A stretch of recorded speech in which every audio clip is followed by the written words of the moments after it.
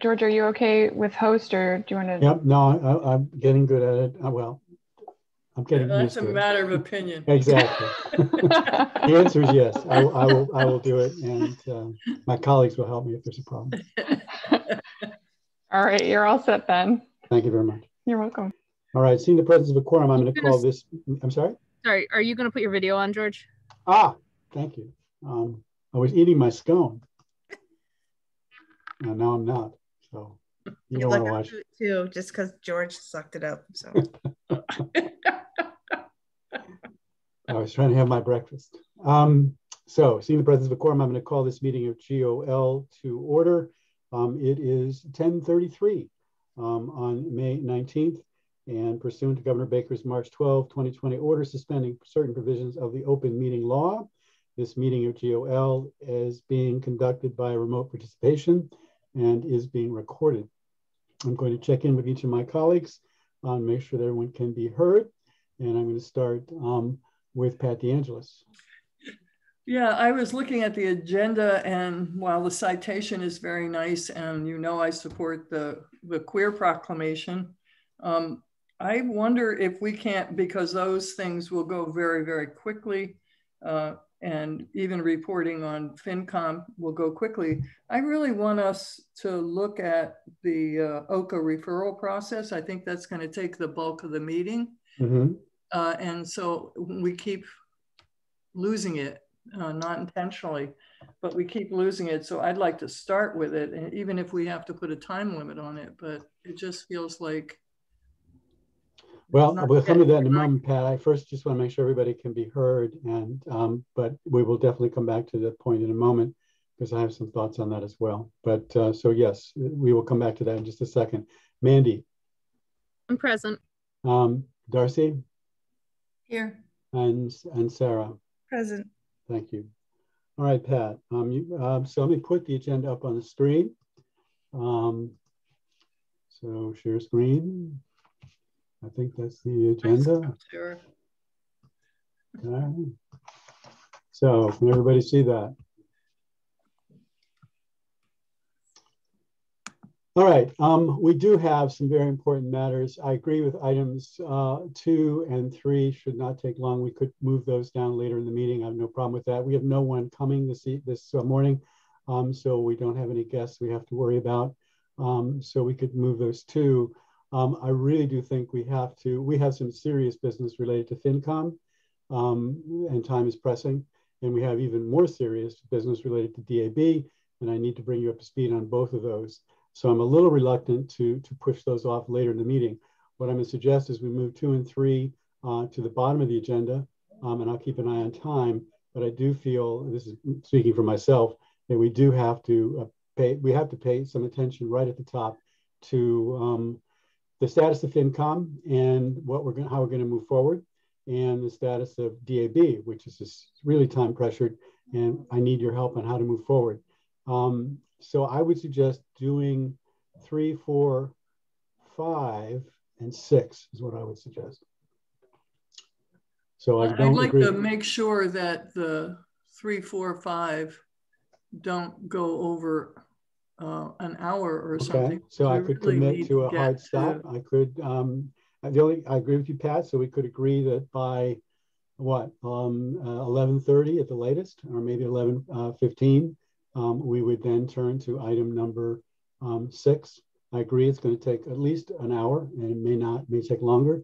Um, so we need to leave sufficient time, but I really, we really do need to take care of, of uh, three, four, and five. Um, okay is my personal opinion. So maybe agree that uh, item six would be started no later than 11.15. Sounds good. Okay. To me, that's, anyway. well, that's my suggestion. I, and I think Mandy's okay with that. I don't know about the rest of you, Sarah, Darcy. Um, so 11.15, and I would ask the help of, of Pat um, as vice chair, just keep an eye on the clock because um, as you can see, I often get tunnel vision. So when we get to 11.15, just speak up. Don't worry about interrupting me or another speaker. And we will stop and go to item number six. And hopefully we'll get to it sooner, um, but 11.15. Okay? All right. Um, so, uh, so that means I put everything away that I just put out. Um, I want to take a look at the uh, FinCom status um, quickly. So hang on for a second. Ah, yeah. Make sure I have the right document. Yes, I do. All right, so I got to stop sharing. And then I have to share again. And um, so let's look at this. This is where we stand at the moment. Um, the vacancy notice was published on 511. There were 11 outstanding applications, 11 CAFs um, that are within the three-year limit. All of them were contacted. Um, there have been no new uh, applications. Um, and of the 11 that were reached out to, three have gotten back to me saying yes. Um, as, as often the case, many have not responded and most likely will not respond since many of them did not respond this previous time we did this, but the rules require me to reach them out, out to all of them. So we've had three people respond positively. So the pool at the moment has three people in it. Uh, Bob Hegner is um, the current uh, member of the uh, FinCom, and he has expressed an interest to continue. Um, Mr. Kim was a candidate in the previous round, and he is asked to be considered. And Rika, I think it's Rika Clement, um, which is a new, um, uh, someone we've not interviewed before, but um, was had expressed previous interest. So we have three in the in the pool. Um, I would like us to agree on selection guidance today. Um, and we could decide, well, we can't make the pool sufficient yet because we need two weeks to pass. So the earliest we could declare the pool sufficient would be June 2nd, which is our next meeting. So what I'm suggesting is that at that date, um, we could declare the pool sufficient. Um, and at that point, begin the, the process of listing SOIs. Um, the timeline is tight. How Um, many positions, George? How many just, positions? just one. We just have one position. Oh, Bob Hegner's and That's he's, right. and he's right. willing to And- continue. He's expressed it, yes. So I think, um, right. So I think given the, um, assuming we adopt the usual, uh, if we talk about our, our uh, guidelines and talk about our process and agree on that ideally today, um, when we meet on the second, we can declare the pool sufficient. I can solicit SOIs. Um, and if we do run into a problem time-wise, um, we would have to push everything off by, by two weeks, but that would not be a real catastrophe. It would mean that the position would be vague. Well, I guess Hegner would continue in theory for two extra weeks, um, but uh, until the new candidate was was was uh, voted by the council. Um, but if we don't make, I guess what I'm saying is we don't make the June 21 council vote, the next council vote would be, I think it's July 15th.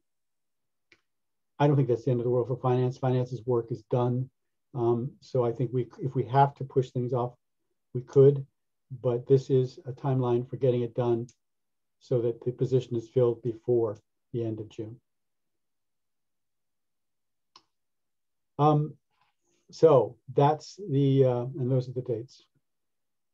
So um, if we were to push it off, we would be making a, so it's July 12th is when the, the uh, council would meet. So that would be the sort of fallback. Um, I'm gonna stop sharing that. I guess just in general, when we think about interviews, our custom in this committee has been to do the interviews um, individually. Each we have everybody come to the same meeting, but we do them sequentially. So one, two, three, however many there are.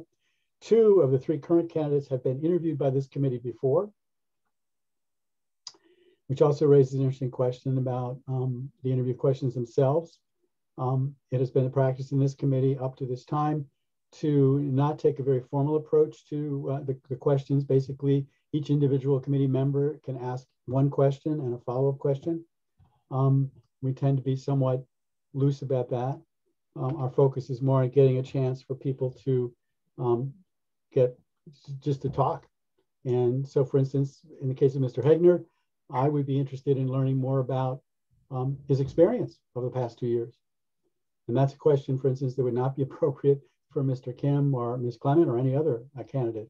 So um, I'm a little concerned about, um, I'm happy with the process we've used and I think it works well. But um, we have two new members and I need to hear from them about whether they want to revisit this process and make any changes to it. Um, but the current process, as is in the document, is in the packet. Um, we do the interviews and we tend to do the vote that at that meeting as well, though that could be pushed off if we wanted.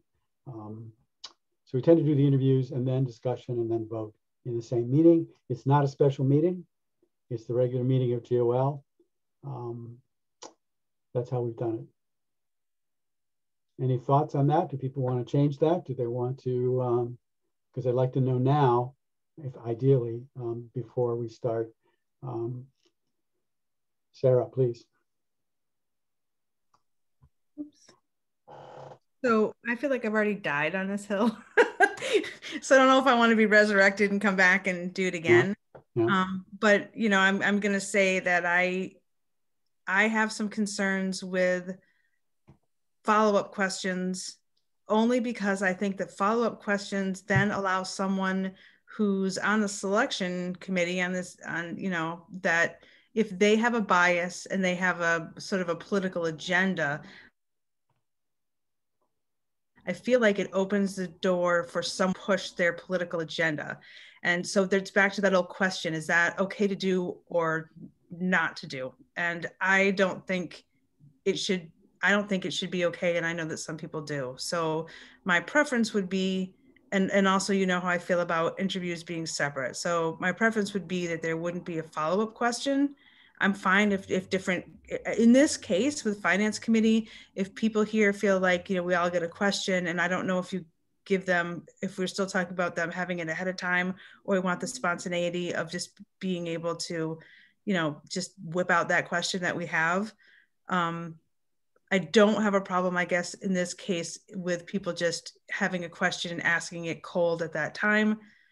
Um, but I would rather that the interviews were together and I'm fine with it being one meeting and then we decide.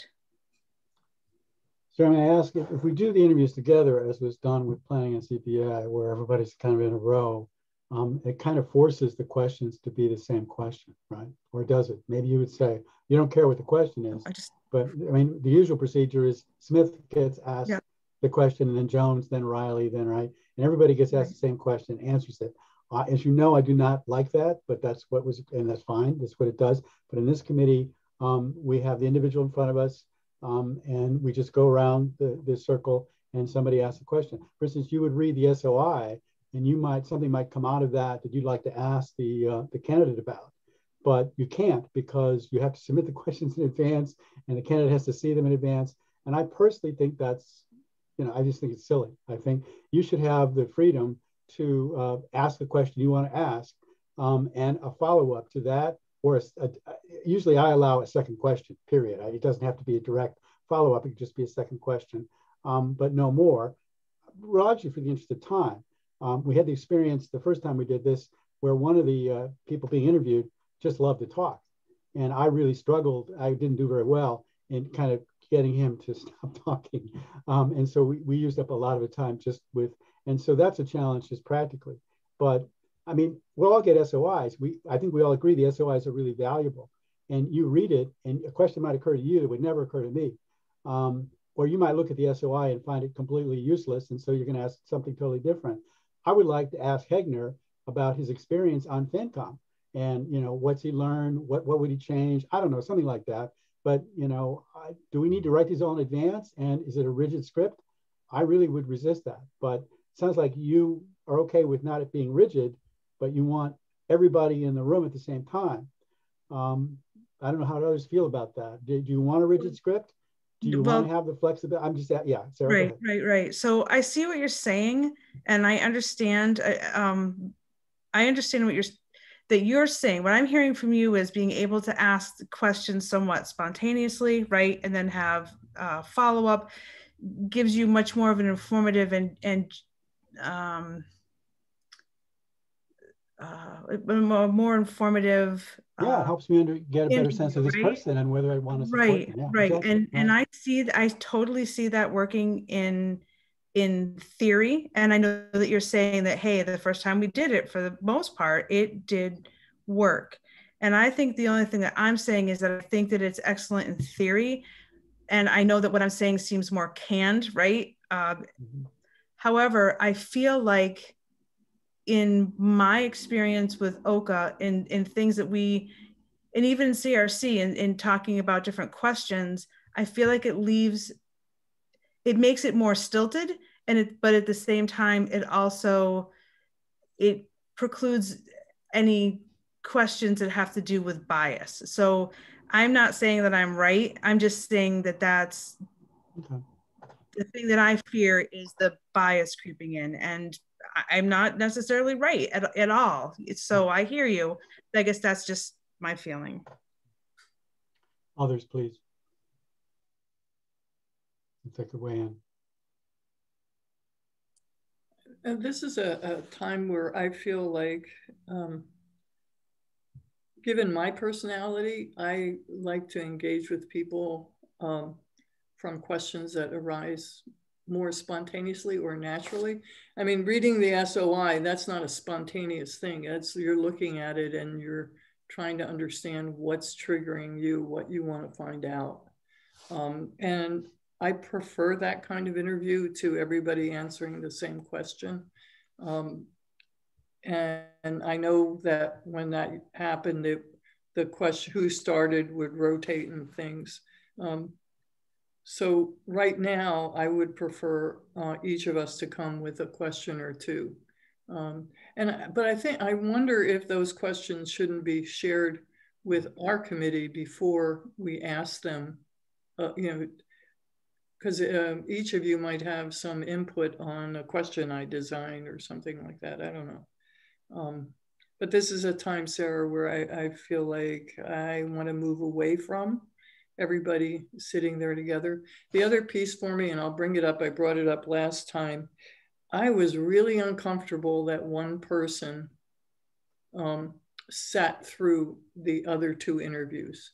And the and if we're going to allow that, and we maybe have to, then we should Mhm. let every candidate know that they can stay in and listen. Um, Yeah, in my communications, Pat, I do make it clear, but I will also make sure that I make it clear that um, you're welcome to, I mean, the meeting starts at 1030. Your interview is at whatever time, if we do it sequentially. Um, but you're welcome to attend the meeting uh, in its entirety, but you'll only be brought into the room um, for questions at this specific moment. And then what you do after that or before that is up to you. I could make sure that everyone knows that. Um, it is a public meeting. We certainly cannot prevent anyone from staying. Um, but I hear you that I could make sure that I believe I did the, the first time, but probably not as clearly as I could have. That um, you know your interviews at X time, um, but the meeting starts at 10:30, and you're welcome to be present during the entire meeting. Something to that effect, and then people make up their own minds. Sarah has her hand up. Uh, Sarah, uh, actually, uh, well, Sarah, if there's a response to something, yes. Otherwise, I want to go to Darcy. Do, may I go to Darcy first and then come back, or is it a response to something Yeah, in particular? yeah. Okay, so Darcy. Um, I, yeah, Darcy. No, I think Sarah said she was responding to something. Okay, fine. It just really quick. So just really quick, I think then what I would say is what if my question that I spontaneously pop on all of you is I asked this person, um, so uh, we recently had a case where we had to um, encourage the finance committee to find a stream of income for the community safety working group. How do Mhm. you think you would respond to, to, to that kind of a request? Like, what if I make it really specific about Right. something I care about? That's that. So that's all I'm saying Right. is that hear you. I hear it, it's inappropriate, and you know, I'll be like, what? but somebody could do it if they felt like it was um, important. So maybe if you want to keep the spontaneity, maybe we do just float questions to each other. If there's some way to do that without violating open meeting law, we send them to George just to make sure that you know. But then I get to be the judge, and then that seems like a bad idea. I'll judge. No, really. I mean, you know, why should the chair be the one who decides what are the good questions, what are the bad questions? I No, think there's there's an I element of risk in this, but and that's all right. I, it's an open meeting. Um, you know, uh, as long as people are respectful, um, and I think I don't have any concerns about this committee in that regard.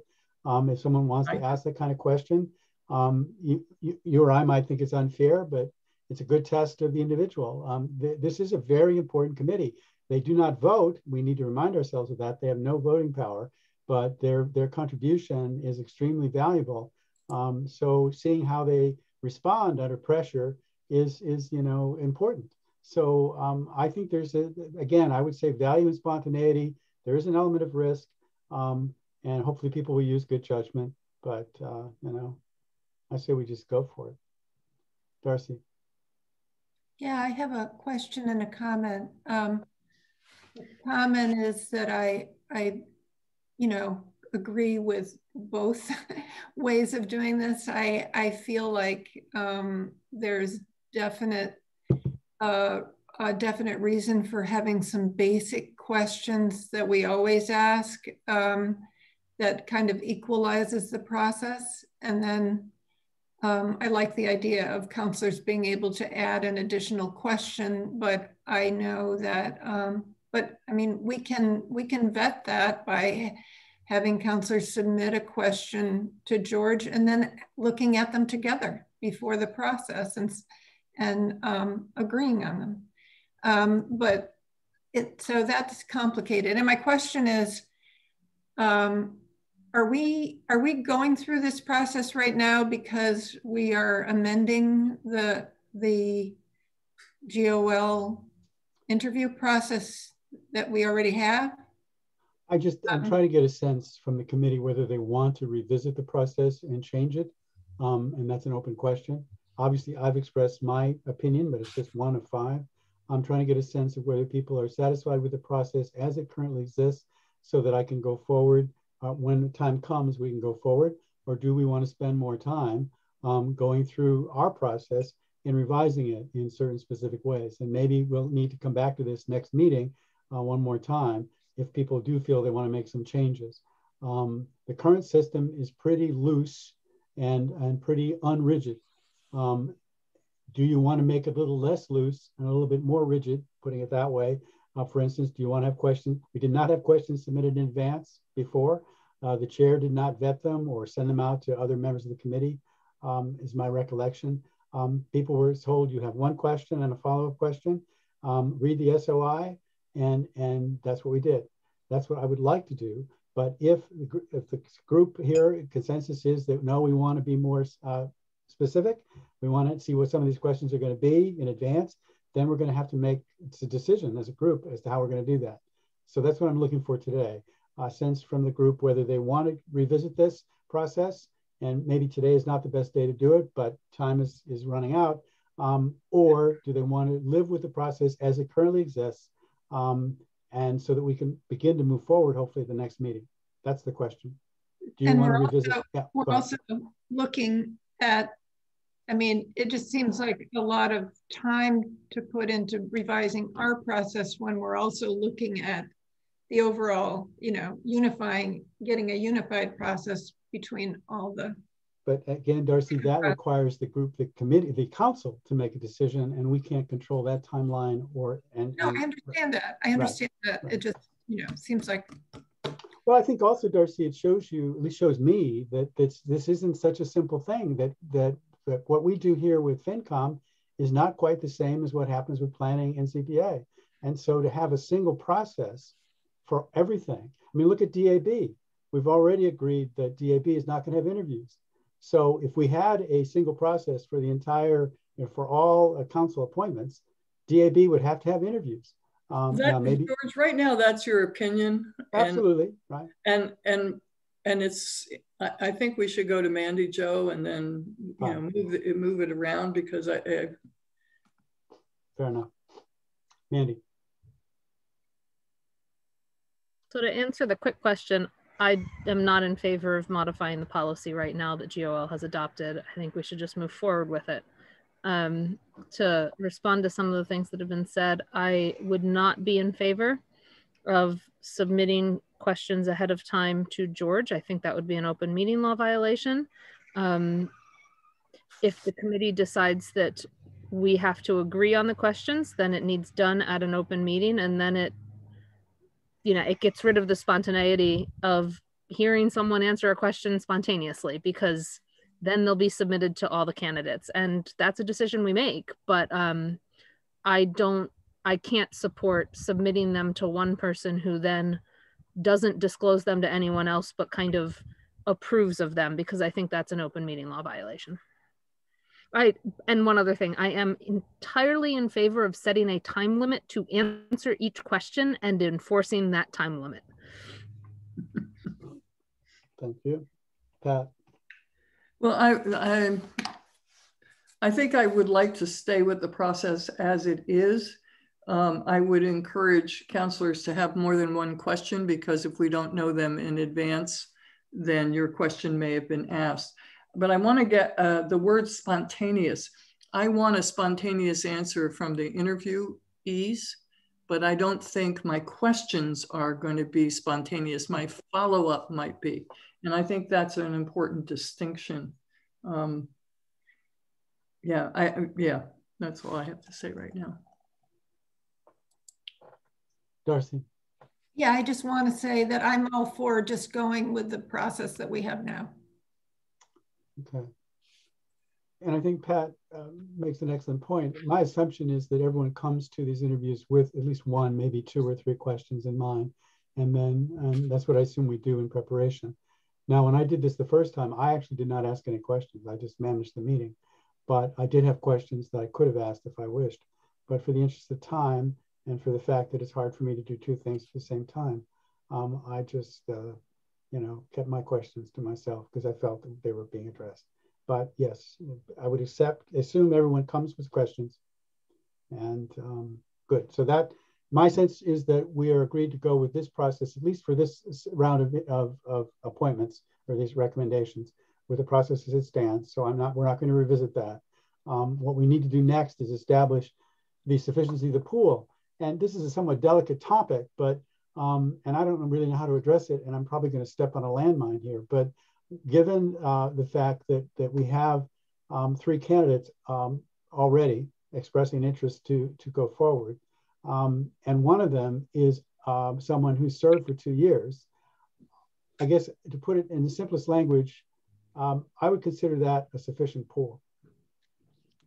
And maybe we should talk about that. Yeah, I do too. Yeah, I mean, it's, uh, it's in, this, in this yeah. instance, yeah. Um, and we interviewed three when Sharon Povinelli uh, resigned. We interviewed three candidates, and it felt like it, it allowed choice. Right. So it allows choice, but um, okay, so we're not going to, we cannot declare the pool sufficient uh, today. We have to wait until June uh, 2nd. Um, and we may get more people stepping forward. Um, and if that's the case, then that's fine. Um, okay, good. So I think that for the moment, if anyone sees something we're missing, um, that, let me just look at the, um, I'm going to put this back up for a moment, just and then we'll move on um, just so we're agreed. Um, this is the, uh, I want to look at the timeline one last time. Put it up here. We have 14 minutes left before we shift. Okay, thank you. Okay. Um, so I need to just quickly look at this because it's very tight. Um, for instance, we if we determine the pool sufficient on June 2nd, um, I solicit uh, SOIs from the candidates uh, later that day. Um, they have one week to get them to me. I must have them by June 9th because they have to go up one week before deliberation. Um, so hopefully everyone will be on time. Uh, the rule is that if they're not on time, they're removed from consideration. And so they get one week. Um, then a week later, we do the interviews and our procedure has been up to now to do the interviews and the vote at the same meeting. Again, we can change that if we have to for some other reason, but, and then we would send that recommendation to the council and the council votes on June 21. It's a tight timeline. Something could go wrong, but that's what I'd like to try and do.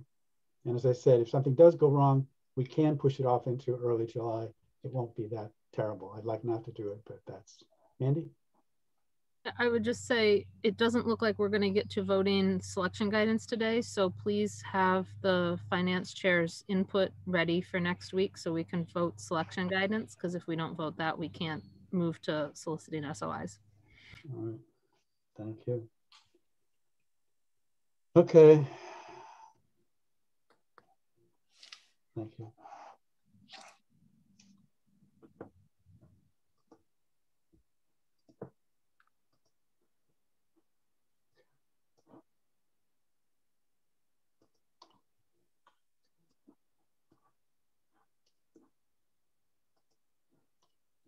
What I have to show you here is DAB, okay? Um, and we have a problem. George, Uh, yeah, go ahead. Just before you share a screen, I just want to remind, um, we're not supposed to be sharing names publicly, and since this is recorded, names should not be shared. We've all received the, the CAFs. Okay. So I'm trying to see what document I've written that has names on it. I think I have. I don't know whether you have or not. Yeah, I think, well, I think I did on the, yeah, okay. All right. Um, I think I probably did show something on the previous slide. Um, okay.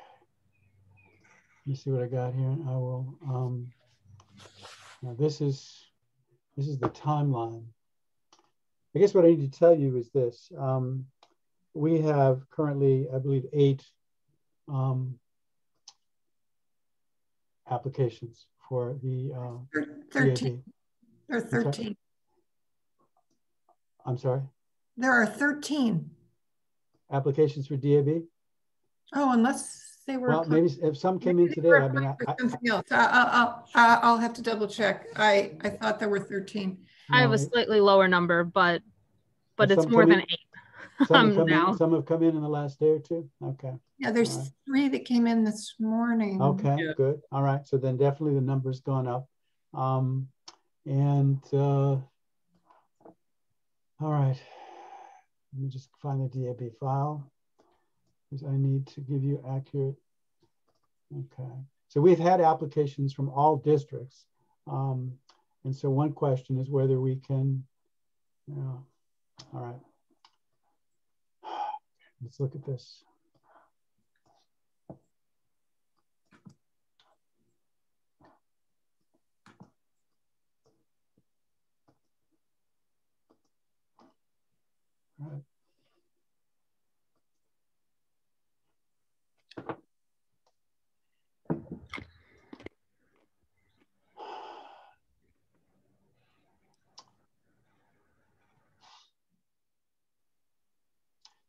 We may be able to, what I had promised everyone was to uh, adopt, we would send out selection guidance and declare the pool sufficient today. Um, I don't see how we can do that, um, especially since I haven't had a chance to update the pool. Um, I haven't had a chance to look at the these the, the applications that have come in in the last couple of hours or the last uh, half half a day. Um, what I had was what I had last night. Um, so I guess I need some advice here. Um, we could come back to this later in the meeting. Um, I realize that we only have 10 minutes. What I had promised everyone that I've reached out to so far, I've contacted everyone who sent us a CAF and told them I would get back to them on or about the 19th, um, send them selection guidance. Um, I think we're ready to, I think we've, have we voted on selection guidance? I don't think we have. Um, so we could do that now. Um, what we basically agreed is that we will not do interviews. We'll rely on the SOIs. Um, I think everything else we've gone through and we're happy with, but uh, I need to make sure that's true. Um, we could declare the pool sufficient right now, um, but there's going to be some districts that don't have. I, I, just haven't had a chance to look at what we've got. I'm sorry. I just, uh, um, and I don't know if anyone else has. Uh, Mandy, have you had a chance? Has anybody had a chance to look at the CAFs? I have. Um, I looking at it. If we're aiming for a pool of candidates, a sufficient pool that would allow us, which we normally do, um, choice. Yeah. Um, the only district that conforms to that right now is District One. Right. Um, you know, we can appoint up to two individuals from each district, which means a pool should probably be no less than three. um, but probably looking hopefully more like four. Um, one district only gets one no matter what. Um, but the only district that is sufficient in that sense is District One. Um, districts two, three, four, and five would not be sufficient under that criteria. Um, in terms of diversity, um, gender and race are not diverse, I would say. Um, we're doing decent on age diversity um, when if we look at diversity for sufficiency of pool. But given that in theory, only if we want choices, only District 1 is sufficient from numbers point of view. And that would not be if we went forward with District 1 only enough to actually convene the committee quorum wise. Um, it, it gives me pause to do only that one on a separate timeline because we still wouldn't be able to have a quorum, appoint a quorum of a committee versus if we get a couple more districts where we could get to a quorum of a committee, um, it might be wise to do it. So I, I am in support of waiting another two weeks. Um, the timeline gets screwed up that way, but um, hopefully if we can go back to council and everything, we can get some more candidates in all the districts in the next two weeks. Yeah, I see. I think that three is would be deemed sufficient too, but I agree that one, um, it's probably just two districts. I see three and three, um, and there's some that I have. I don't know what district they're in, but I, I will, I promise to, to go through, what I've been doing is putting them into, I, I do the research and put them in their districts, um, but I haven't had a chance to look at the most recent submissions. I'll do that later today when I get a moment. Um, and I send them immediately a notification of receipt and I put them into the various files, but it sounds like, and I, I think three is, is really bare minimum and really, I'm not comfortable with it. So I'm uh, in agreement that this timeline is, is, is not something that's given to me by Sue Audette or, or by the state. Um, so we have a little bit of time to play with. It'd be nice to be able to get this done the way we originally planned it, but two weeks is not going to make that much difference. Um, it does look like July and August are going to be the you know main months until. So um, I think we can still two weeks more won't hurt. And at that point, um, so I can revise this and I will notify all the candidates that we've pushed it off by two weeks and that they'll hear from me now at another point. Am I hearing that people are happy? They're, they they can live with the the guidance the, that we have, the document that we presented to the council. They're happy with that. And uh, do we need to vote on that? Do we need to uh, um, adopt it, or can we just agree that that by consensus that that's the process we're going to follow? Um, and so, I yeah. I think we already agreed on the process, but the selection guidance, I think we have to actually vote on. Right, which would be at the next the next meeting, we would vote on selection guidance. No. All right. did Any some other- type of outreach go out in the last day that that resulted in three applications today? Uh, I think the town clerk did something. Um, I made a few individual outreach efforts. Um, maybe the League of Women Voters is beginning to have some impact. Maybe Paul uh, did something with the CFOs or the, uh, the Residents Advisory Committee. Um, there are a number of initiatives that are out there. I think we just have to give it a little bit more time. Um, and I think two weeks is more than enough. Um, and hopefully by that point, we will have a sufficiently large pool that we can then um, get going. Sounds good. Okay, all right. Okay, we have four minutes. Well, I think we can, I think that's, um, we can just, let me see. Um, for a second. Um, so what we've agreed is that uh, we're going to postpone DAB for two weeks. I will notify people of that. I will uh, go through the most recent applications. We do need to vote on selection guidance at the next meeting. Um, so the next item is item six. Okay. Great. So let's go there. Um, and what I'm going to suggest, but it's open to obviously to debate, is that we use. So Darcy and I went through uh, this, uh, the OCA process, and we produced a document for you to review, both redlined and clean. And um, me stop sharing. Put that away. I was going to, so uh, I was going to use, Mandy also went through our document and had some comments. And so I was going to work with that document since it has all three um, comments uh, in it that we can review. Um, let me see if I can find it quickly. Okay. Bear with me for a second. Okay.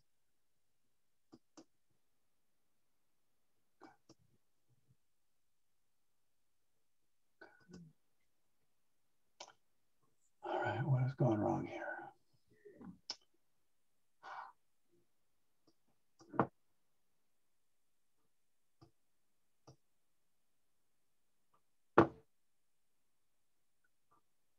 Hang on for a sec. Okay. Okay. I'm getting there.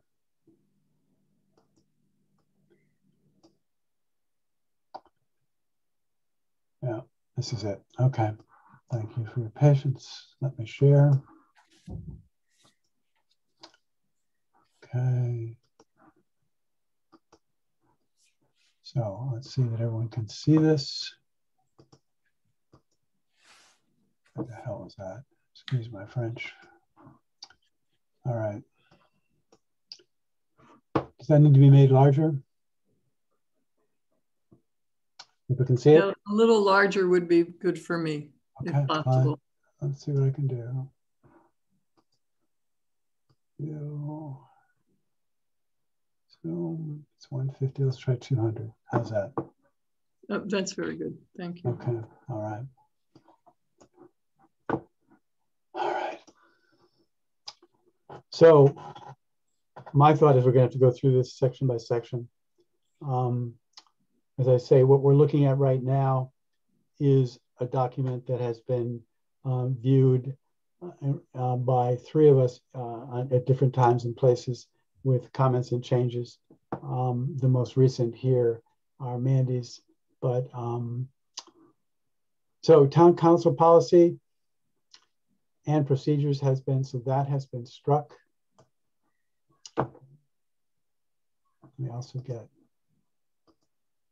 get this, so I have track changes on, so I can make track changes to this as we go. Um, this has been struck, so I'm going to take this out. I can put it back in. I'm going to take it out. Um, this is an issue that we maybe need to discuss right from the get-go. Um, the approach that uh, has been taken by some is to distinguish policy from procedure. And so a number of things have been uh, suggested to be removed or have been removed um, from these drafts because they're uh, too much procedure and not really policy. This is a policy. Um, so people need to speak up if they don't agree town council policy on town council appointments to multiple member bodies. And this draft is now, I'm going to change the date.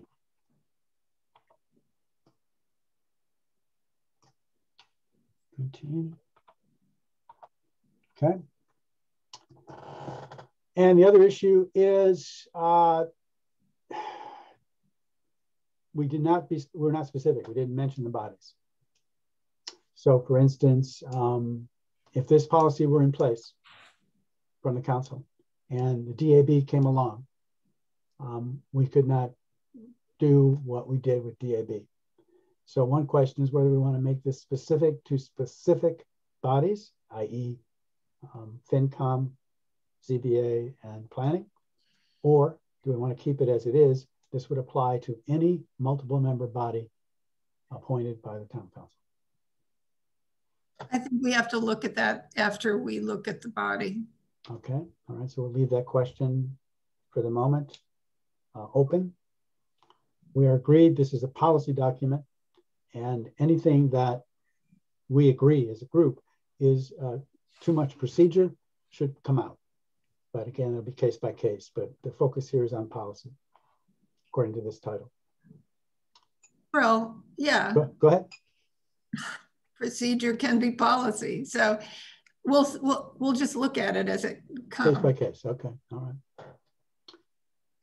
So we're going to do line by line. The charter gives the town council the authority to appoint members to certain multiple member bodies, such as the planning board, zoning board of appeals, and the non-voting resident members of the council finance committee, and the appropriate references. Herein is laid out the policy to govern such appointments. Um, yeah.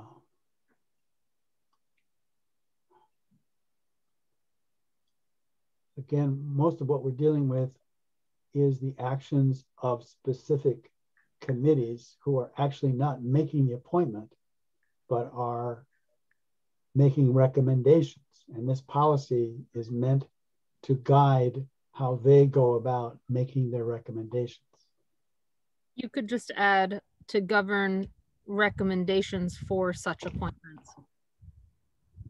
I mean, are people comfortable with that distinction? That basically what this is meant to do, as I understand it, is to guide um, council committees that are supposed to make recommendations, guide them in how they do that. It's not actually governing the appointments themselves. So during Mandy, yeah, go ahead. Just the language, I'll just put it in, we can play with it, but you wanted to suggest what? To govern how recommendations? Are made for such appointments? That's the distinction that I think is important to make, but I, am just, uh, we're doing this together. adopting, I'm sorry? I don't understand the difference. The, the difference. Well, as it's written, this policy governs such appointments. So let's go back. Maybe again, it's just you're right.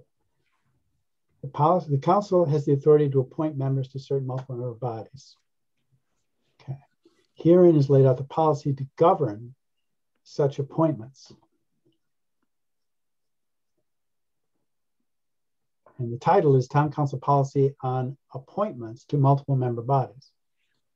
I guess the the what I hear from George is nearly the entire policy as written is governing committee actions to get to a recommendation to the council, not the council's vote at the end of that at at a council meeting.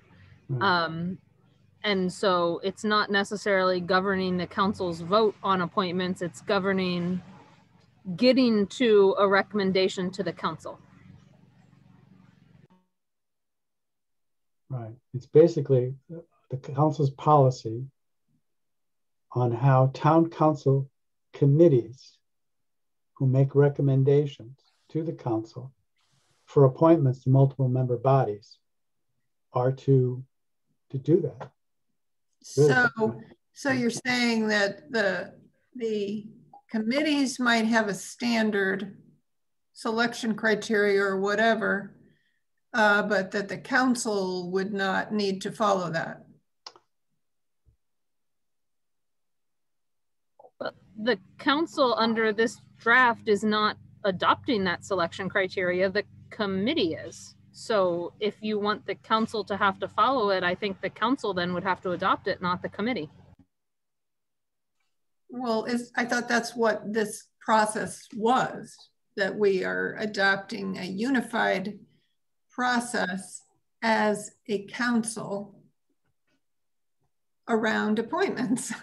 Um, and well, that, yeah, that okay. I, I don't I don't understand how what I guess I don't understand what we're talking about here. It, um, mm -hmm. So, for example, if the committees had a unified process where where they included that preference language, you're saying that that would just be the language used by the committees to make their recommendations, but then when the recommendation gets to the council, the council doesn't need to use that. I think Sarah would like to say. Please go ahead. I'm sorry, Sarah. Thank you. So if, if this is indeed what we're saying, um, then my question would be, um, I think one of the biggest issues that's difficult for the council in making these appointments is when it gets to the full, when the vote comes to the full council. So my question would be, if we do this on, we do a policy on selection to, for appointments of the committees, are we then going to do a separate document to help guide the town council on their selection to appointment process? Because I don't think you can have one without the other because if it's a free for all once everything gets to the council and there's no guidance and the council itself doesn't follow any rules, then why in God's name would we be spending all of this excruciating time in committees? It doesn't make any sense. I would say there's guidance for everyone. And if we make a separate document, then we make a second document.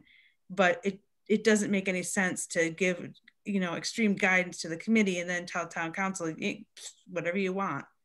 So it's either, it should be the same. Either it's whatever you want for the committees and for whatever you want for the town council, but it, or each gets selection guidance, I think.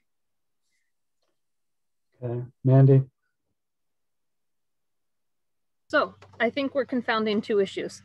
One is, do we want each committee that is tasked under our committee charges making to make recommendations on these body appointments to operate under the same policy, meaning they always have to do interviews, they always have to accept an SOI, they always have to announce it so many days in advance and only, you know, deem a pool sufficient by a, after a certain time that it's been posted? Do we want uniform policies on how that happens in committee or not? I think that's question number one. And my understanding is the reason we're dealing with this is because the council wants the committees to do potentially interviews the same way, or at least always hold committee, hold interviews, say, or always have selection um, statements of interests and always adopt selection guidance of some sort.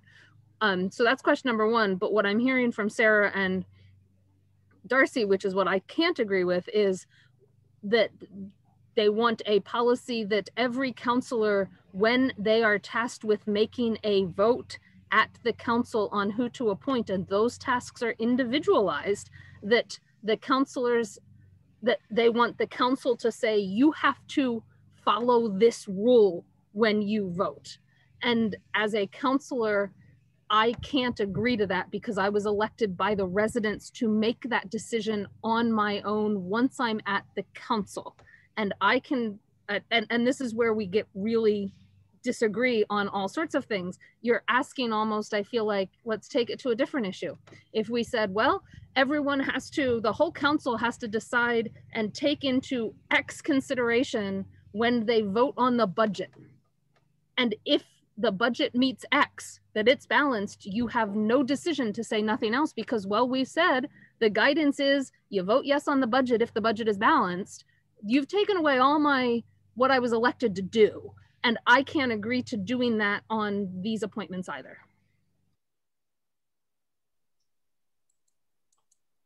Pat. I have um, I have a looser interpretation of guidance. Um, when I go to put a tent together, there there are directions. There's guidance about how it's supposed to be done.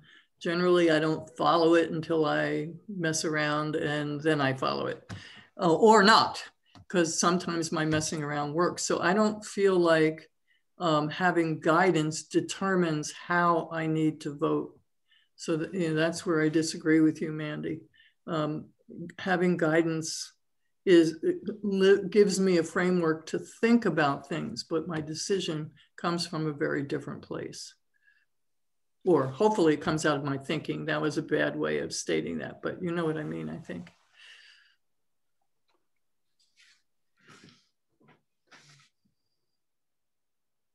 I think I think we're hearing at least three of us say that we should take that language out. But I'm, sorry. Yeah. The, in other words, the changes that have been made so far should be removed. That's what I'm hearing. Um, so um, the distinction that that I thought might need to be made between um, a policy governing such appointments in general. Um, okay. The red. I, yeah, right. I understand that that you would like that to be to be stricken. Um, I'm just trying to be clear on what this, I mean, I think the idea of a preamble is important.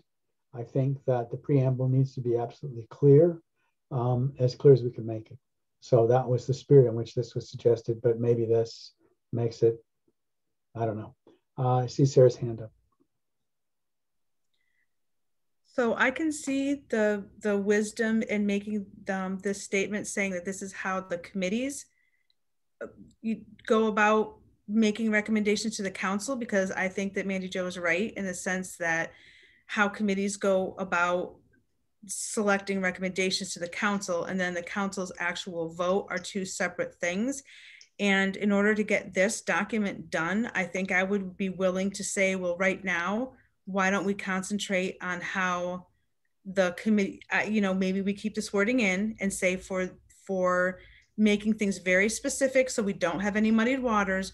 Right now, this particular document only addresses how committees make selection to make recommendations for appointment to the council.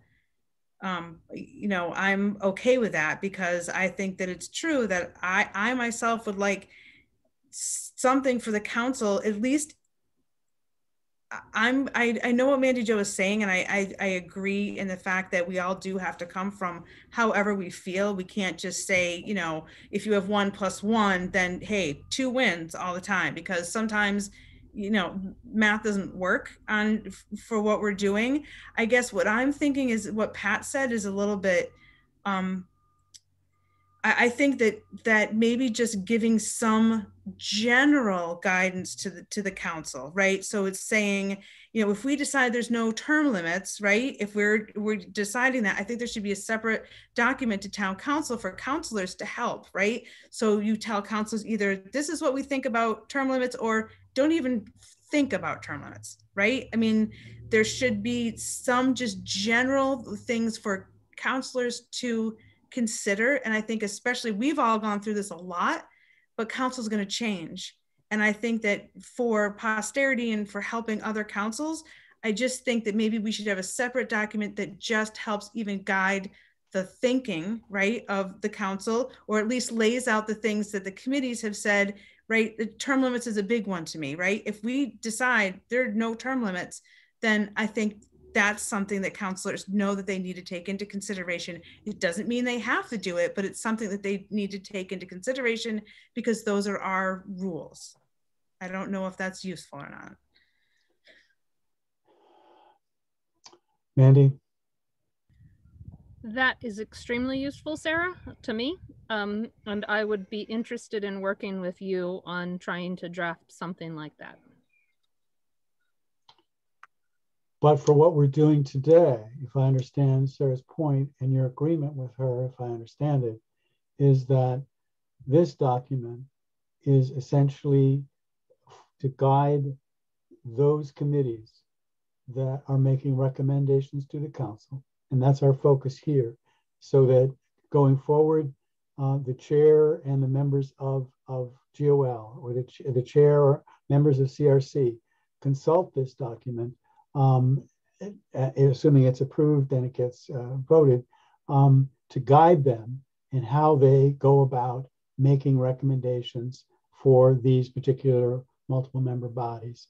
It's not a document that is directed to the town council as a whole and designed to tell councilors or guide councilors, whatever word you want to use, how they should vote that's uh, I think so. This is focused. If I understand what you're saying, Sarah and mandy this is focused on giving committees, these two particular committees, guidance from the council. So it's addressed to those committees from the council.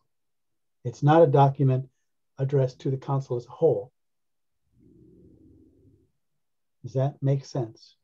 That's how I understand this. And I that's what guides yeah. I'm sorry? I would say yes, but I would also say that with a caveat that I would be very interested in trying to. I think that it has to come with the statement that we GOL will come up with general guidance to the entire council for when these recommendations come to them. I, I and again, I'm willing to have it be, you know, definitely written from a hey, these are these are, you know, it's guidance, but I, I do think that we need to have both. Okay. Mandy? Uh, I I am willing to move forward with that. If if that is our decision, we can change the title to town council policy on committee for committees making recommendations for town council appoint. I'm just making something up right now. I know, I know. I, I, I whenever I like to describe this in my on the title. minutes, yeah, no, it's, it's, yeah. But We could come back. I mean, the preamble, again, may be something that we'll have to refine. Um, but I getting a sense, and please correct me if I'm wrong, that the focus of our discussion today is on that idea of guidance to committees who are making recommendations. And so I'm going to leave this language in, but I agree with um, Darcy that we will come back and revisit it at the end. Um, the following policies shall apply to all appointments to multiple member bodies made by the town council. Again, we'll come back to that, but that's a fairly simple statement. Vacancy. Um, I'm going to read the entire paragraph. Um, please speak up if you have any concerns or changes. Um, when a vacancy or impending vacancy occurs on a multiple member body appointed by the town council, the chair of the council committee responsible for recommending appointments to the council for that body shall write and submit to the clerk of the town council for publication on the town bulletin board a vacancy notice in accordance with charter section 9.12e. A vacancy occurs whenever the town clerk receives a signed resignation from a member of the body, a member passes away, or a member is removed from the body in accordance with charter section 2.9e or section 9.14. An impending vacancy occurs when whenever member, okay, an impending vacancy occurs whenever a member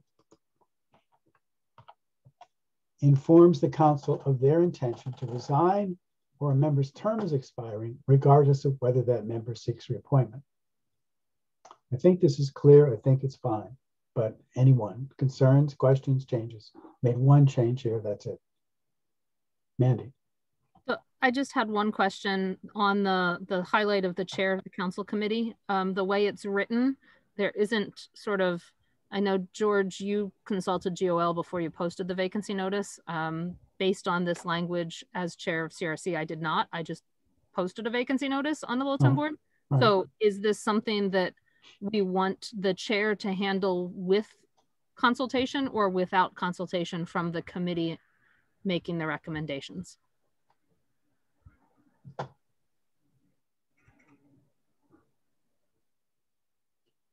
You could insert upon consultation, uh, upon consultation with the committee shall write. I, I don't, I don't have a strong feeling one way or the other, but um, you could make that change. I also don't have it. It's just a question I brought up for what. I understand, right, exactly. Do people want to make that change? They feel strongly about it? Uh, in other words, uh, assuming a chair We is doing. make that, I'm sorry. Yeah. Go ahead, please speak up. Uh, We could make that change or could say uh, uh, the chair of the council committee or their designee. Which, um, That's a separate issue, but why don't we put both of them in? So the chair of the council committee or their de- or their designee responsible for recommending appointments to the council, that body. I think upon- the or designee would be after body Okay, or their designee are there. yeah,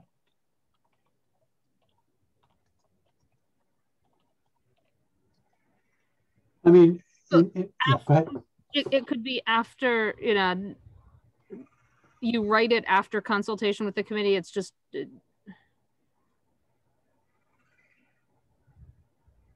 after consulting with the committee shall submit.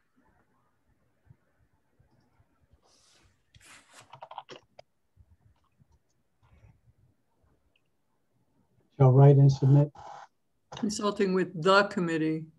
right? Yeah. Can we get rid of right and and just say shall submit to the clerk? Yeah, clerk? yeah. So it, it sounds like we would like to make it the practice that the chair, whoever he or she may be, um, consults with the committee um, before they post the vacancy notice. Okay. Any other changes to this section? We will go back through this at the end, uh, maybe not today, but um, and give you all a chance to look at it um, in the light of day instead of in the heat of the moment. yeah, I would just make the comment that, um, you know, I have an interest in getting this back to the council fairly quickly, but if it ends up that we don't do that, um, I have a whole lot more comments that I would make if we were, if it were a slow process because there's, you know, I, those of you who used to be on OCA know that I objected to a lot of this. Um, are you thinking of the CAF in particular, the CAF section, or are you also thinking of the vacancy section? Because I think, Mandy, excuse me, Darcy, if you have serious concerns or reservations about any of these sections, you should speak up. Um, for better or worse, I think you should. Um, this is going to take as yeah. long as it takes. I cannot and I will not rush this just because you or anyone else wants it done tomorrow. I will push it as fast as I can, but it is a, as you can see, this is not an easy thing to do. Um, and um, hopefully we'll get it done sooner rather than later. But I would personally urge you, if you have an objection to section one, vacancy, that you feel strongly about, you should speak up. Is there something in section one about vacancy that you feel we should discuss or that you would like us to come back and talk about? Uh, yeah. Okay, uh, what good? What is that? Yeah, I just, uh, you know, I, I, I uh, the last sentence, the mm -hmm. whole, whole concept of an impending vacancy. Um, um, okay. Is um, you know that go that goes to the whole issue of of uh, you know whether how how existing member reappointment should be handled. Um, so that can can you clarify that more because I'm I'm not seeing a problem with it and I'd like to understand what your thinking is. Um,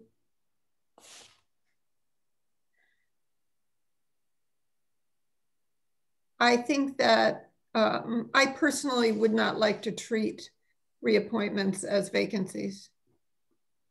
Um, oh. so that, you know, that I, we've, and, you know, like if the majority, the, you know, the super majority or whatever of the council doesn't agree with that, then I don't want to waste a whole lot of time on it. But I'm just saying that. Well, it's important to note it. I, I, it, I think it is valuable, Darcy, that you at least note your objection for the record, um, yeah. even if it's the only right. And so your objection or concern is that you would not like, um, again, if you just rephrase it for me again, just so I get it right, you would not like um, to treat reappointments as, as vacancies.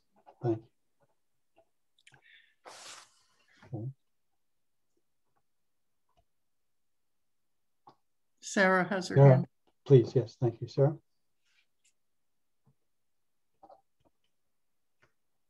I agree with Darcy and the fact that that this brings up a lot of other issues because if we say that um, a reappointment is not looked at as a vacancy, then that means somebody could serve 20 years. I mean, we haven't talked about, unless you put something in about, you know, term limits, I just want to be really clear, unless term limits also are stated here, this means that any reappointment, at least the way I read it, literally, is that if someone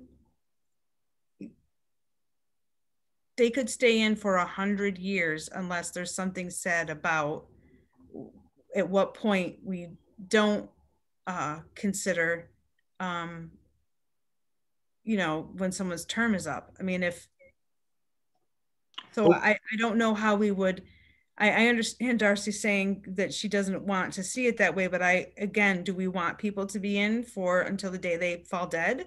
I mean, that's where I guess I would look for clarification. Well, don't don't we treat this later in the document? I, I think we're, we're getting right. This is treated later in the document. We'll discuss that when we get there.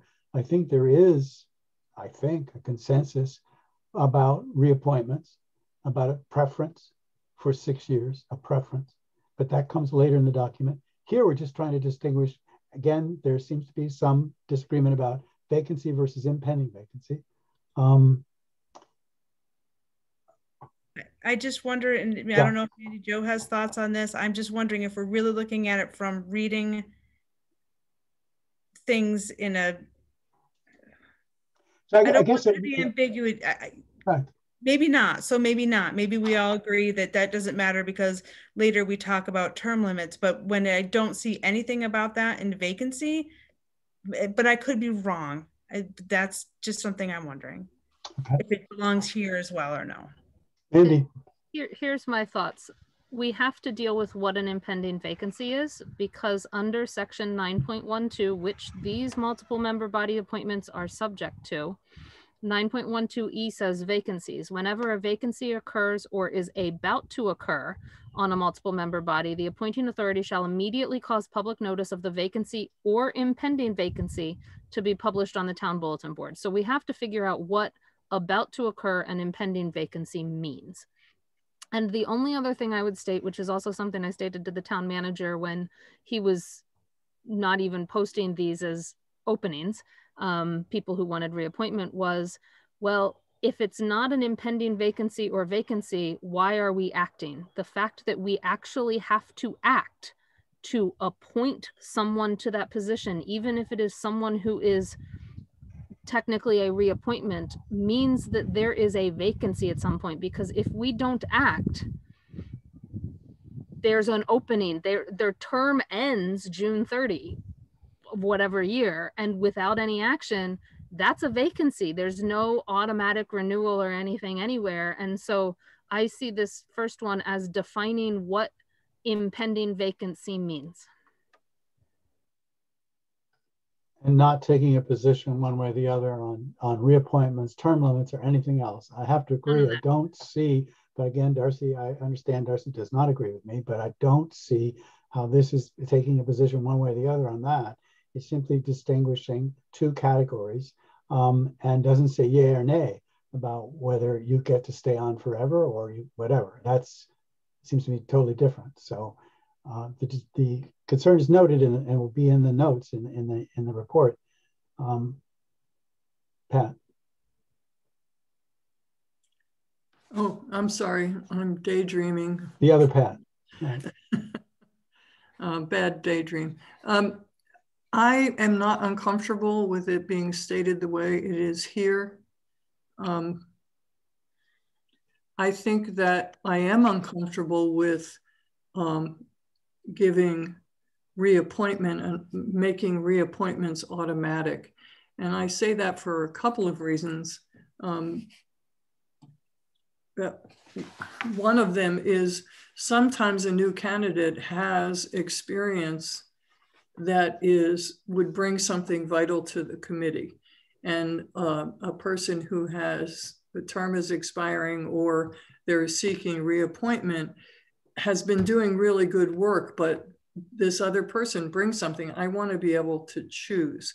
The other piece for me is um, we're white. Most of our, not all, but mo the majority of our committees continue to be white.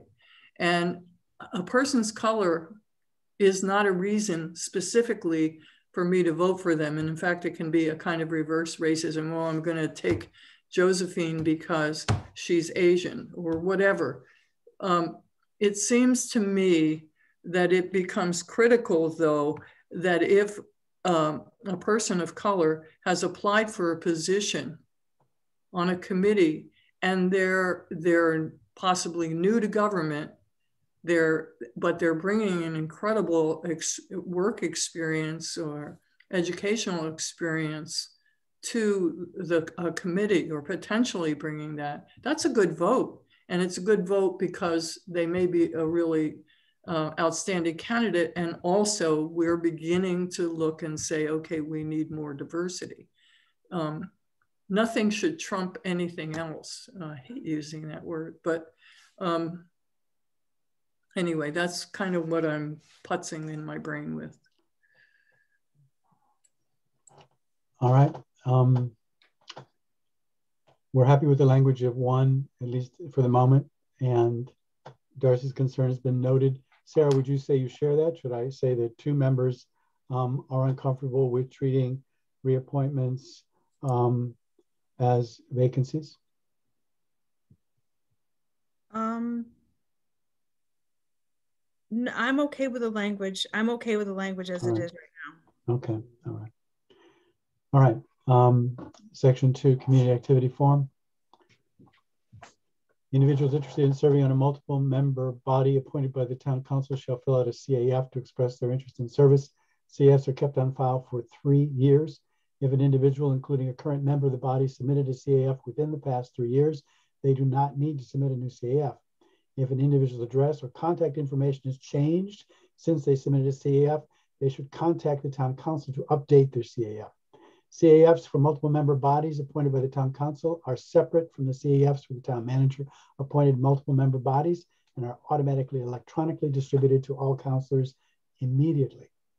The chairs of the recommending committees or their designee shall reach out to each applicant upon receipt of their CAF to confirm receipt of their CAF and maybe just to confirm receipt. Can I take out that? Do you care? Wait, where right. are you? Oh. That's all right. Um, it's just my. Yeah, uh, yeah, I got it. I, am thinking just taking that out. Yeah. Just to get just to get a little bit less, and inform them of the current status of appointments to that body. Okay, CAFs are personnel records, not public documents, and therefore cannot be shared or distributed by councilors. Okay, again, I would note that one member objects to um, the treatment of CAFs as personal records. Now there are two of us. Two people. All right, good, good. Two members. Okay. Um, and I, yeah, I'm, I, uh, I also um, oh. don't um, like the the um, fact that the the CAFs are um, only distributed to the, the new CAFs are the only thing that councilors receive. So they don't see the pool anymore. They used to see the whole pool and now they don't see the pool anymore. Um, so um, yeah, hmm. that, that's another objection. Okay, let's. I ask a question about that? Yeah, please go ahead. Because we determined the pool as you know, in terms of the whole council, once you're on the council, you get anything submitted from the time you were on the council till the time you leave the council. But the entire pool later in this document is deemed those who submit statements of interest.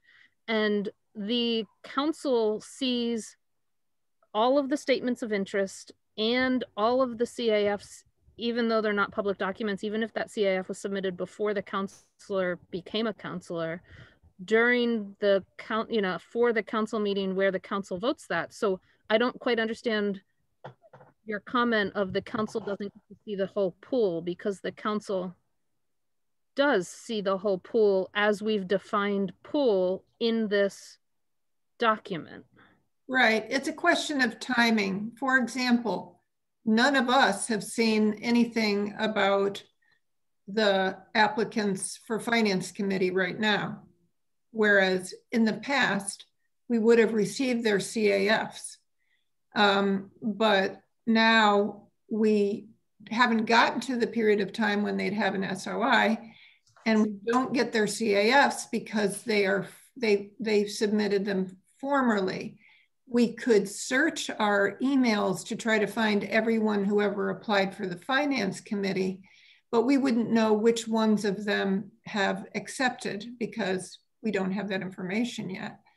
Um, so uh, anyway, what I'm saying is it's much less transparent to councilors now than it was. Um, and yes, we will get them two weeks before the, the uh, you know, the interviews. But we would we would have them a, a month or six weeks before in the past. And why would this be uh, somehow a desired state? Um, is that because you want to uh, say, "Oh my goodness, I don't like this pool. I'm going to go out and find some other people"? Is that is that what what's going on here?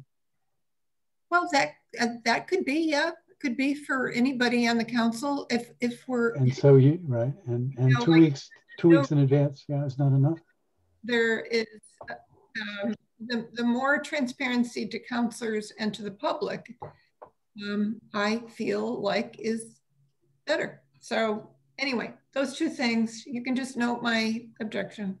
Uh, the second one, again, if you could restate it, please. Um, so um, you, I understand you object to treating of CAFs as personnel uh, as personnel records, and the second right. is you object to the uh, fact that, CAFs, that we use CAFs and CO, SOIs instead of CAFs because the CAFs came more quickly and directly to, you know, they had the information on them and they came directly to us.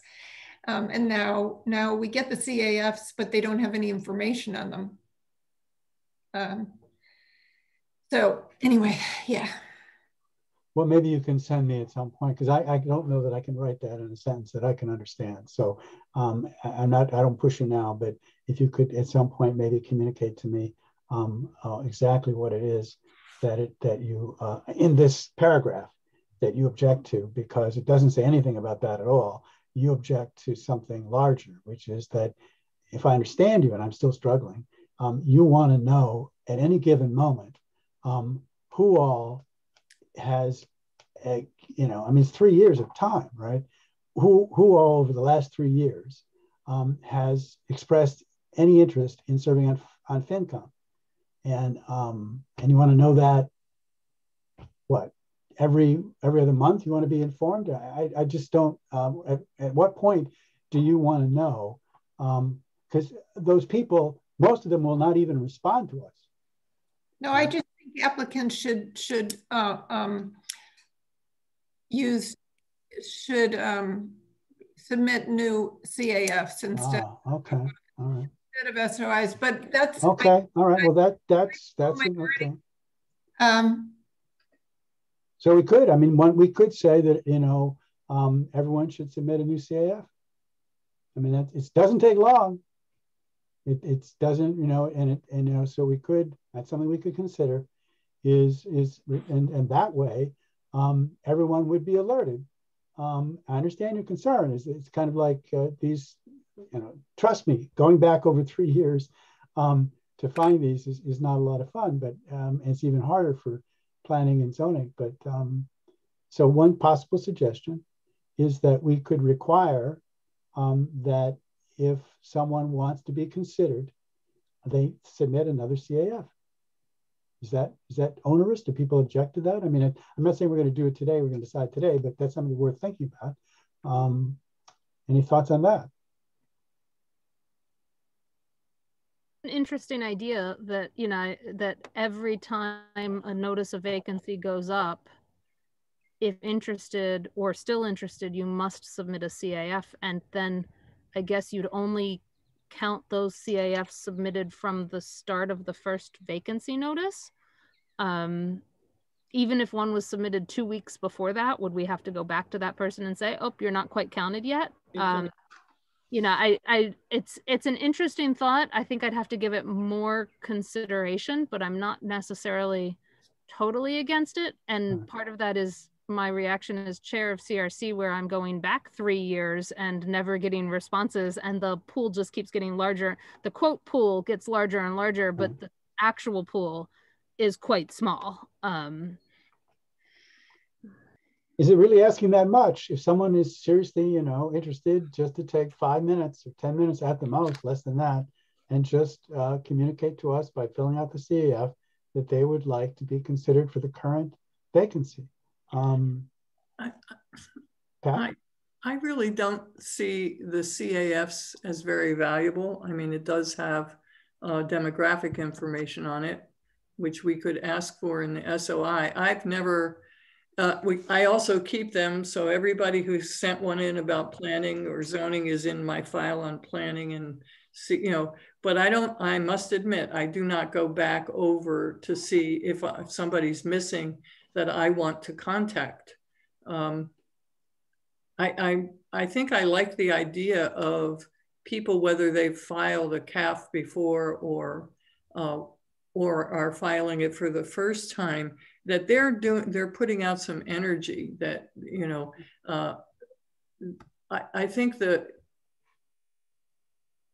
I, I don't know. Uh, and I mean, that yeah. energy can simply be put out because they get contacted by a chair of a committee on, are you still interested in, because we have an opening. So, right. and then I would say, um, and if you are, please fill out a new CAF. And that, you know, now what I say is just get back to, me which is also fine. But it does address Darcy's point, which I think is a legitimate one, that when you're dealing with CAFs over three years, um, you know, most of us don't keep, uh, you know, lists and even, right? So this would alert um, every council member um, when the committee is getting ready to uh, begin the process of making a recommendation, who is interested and who isn't. The CF, really, you're right, Pat, it doesn't contain a whole lot of useful information, though it does contain some. Um, it's mostly a, a way of uh, people expressing their interest and also alerting councilors as to who's appoint, who's applying. And I, I think that's perfectly legitimate. So maybe we need to think about uh, changing that slightly and saying, look, if you are interested, please submit a new CAF. Mm-hmm. Um, let's come back to it, but I think it's an interesting thought. And that would, I think, address Darcy's concern. And also, as you just said, um, you know, basically says to the person, well, if you really want to be, you know, take five minutes and just send us a CAF. Sarah has Sarah, I'm sorry, go ahead, please. So something to consider is that when people, I don't know this, when people fill out a CAF now, do they get like a copy of what they filled out? I, what I'm thinking is, is that if they had a copy of, you know, like a receipt of it, right? Like you just filled this out and they get kicked back what they filled out what i'm thinking is is that then it like makes it even easier because if you have a copy but you did you could literally copy and paste. If if like in the worst case scenario that you know in two weeks like you have to do one for something. If you if the town automatically gave you receipt or whatever of the caf it's a copy and paste. That would make it even easier. Yeah uh, do you the cafs have no substantive information in them anymore though? That's well, they have demographic information. They have demographic information. Which is important information. And right. they also uh, then alert the chair of the individual committee, which is what I do, and I assume that Mandy does as well. And you, I immediately respond, uh, give a personal note um, saying thank you uh, and, and letting them know what the status is. So it, it serves a multiple purposes. You're right, it's not, it's not a substitute for an SOI, but it does do some very important things, the not the least of which is just it brings them in contact with town government, with, with council. Now, so, what the town does is a whole nother question, right? Because given so many committees and so on, it may just be beyond human capacity. To, but what we do right now, as chairs of these two committees, is I respond, and I assume Mandy responds to every single CAF, letting the person know we got it and telling them where things stand. Yeah, I to answer Sarah's question, I just looked up our council CAF um, and it does have a checkbox to say email me this form. You can uncheck that. So it would be up to the individual to get a copy of that or not. Can I just ask one more? And, I, and this is probably, we're all going to be thinking about these things is that people who uh, fill one out and say they're interested in all committees or three committees, um, then would we have to make it clear that you can fill it out for these three committees, but you still need to look for when a vacancy is because we will only be considering new CAFs for those yeah. committees. I that, think we would have to completely change the advertisement process if we went yeah. that route. Yeah. And the and the form itself with maybe I, I don't know, but we definitely have to completely change yeah. how we advertise the positions which could be good because it could help it as far as like keeping people interested and also making it way easier for chairs. So something to think about. And I'm going to uh, give a time check. It's 12:02. Yeah, I'm willing to take this to 12:15, but at that point we really do have to stop because we do have uh, two um, a citation and a uh, uh, what do I have? A citation and a proclamation. Proclamation, we to, yeah. We need to review, and I'd like to get a set uh, two sets of minutes that I've looked at. I'd like to get them approved, um, and I would give at the max 15 minutes to that. Um, so we can begin section three, um, unless the committee. I, I, really I don't have a hard stop, but it, this has been a long week, and we have a later later meeting tonight. Um, I'm really not eager to to go on uh, well and past the 12:30 mark, but we could go a little longer. Um, but right now, I'm thinking of stopping at about 12:15. Yeah, I have a hard stop at 12:30 today. Right. Okay, well that's, that's yeah, I do too. Okay, so let's try to let's start with section three.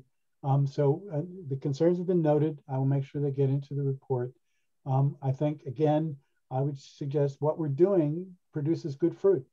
It's, this isn't easy, but this is an interesting suggestion, Darcy, based on your concern, um, and we'll see where it leads. But um, uh, so I think it's worth this, uh, even though it is time consuming. Sufficiency of the applicant pool. After the notice of vacancy or impending vacancy has been published for not less than 14 days on the town bulletin board pursuant to Charter Section 912E, the recommending committee may assess the sufficiency of the applicant pool. The recommending committee chair, again, we usually put or their designee, shall collect all CAFs. I mean, I, I just keep putting it in here. I, I, you know, I long for the day when I can just turn to Pat and say, you're my designee.